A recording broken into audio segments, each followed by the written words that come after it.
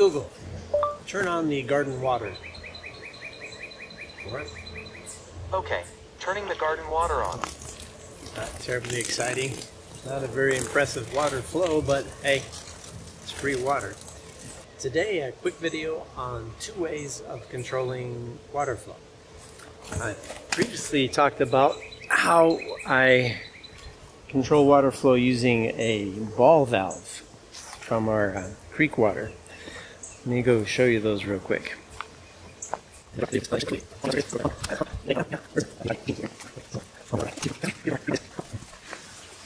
So here is where we collect our creek water. Comes in from a creek up there, collects into a pond here. And over here we have our ball valves.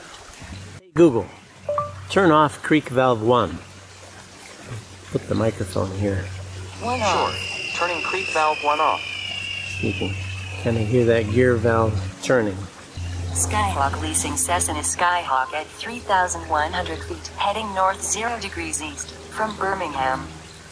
There's two advantages to these. Uh, one is there's no power required after you open and close them, and the second advantage is you can open them partially to get a limited flow. Now there's also two disadvantages. You need to have two relays to control them, one for on-off and one for open-close.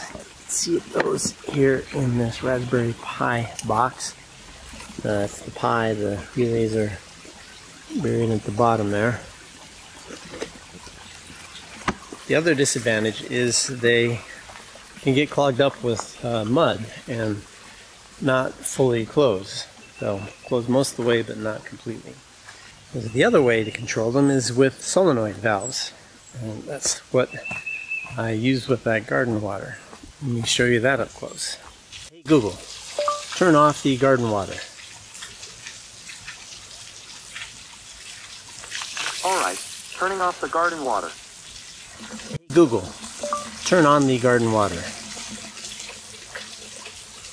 Okay, turning on the garden water. You hear that blip? That's a solenoid working.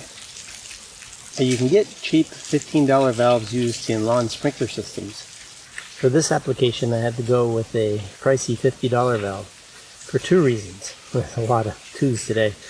Sprinkler valves typically have a 15 psi minimum pressure requirement. My house water is at 30 psi, but this creek creek water is only at 5 psi. We're about you know 50 feet below where that pond is. The second reason is I need a normally open valve. Hey Google, turn off the garden water.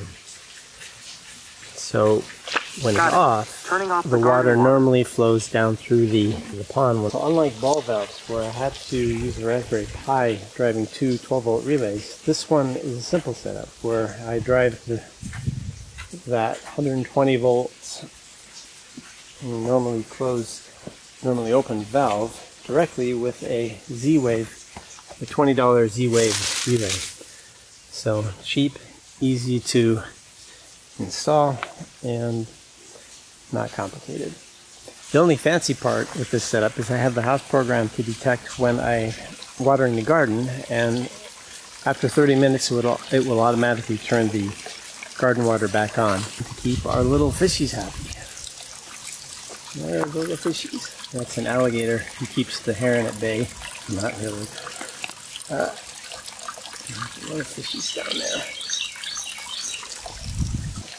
So nothing fancy this week. Hopefully something useful for you smart home enthusiasts out there playing with water features. Thanks for watching.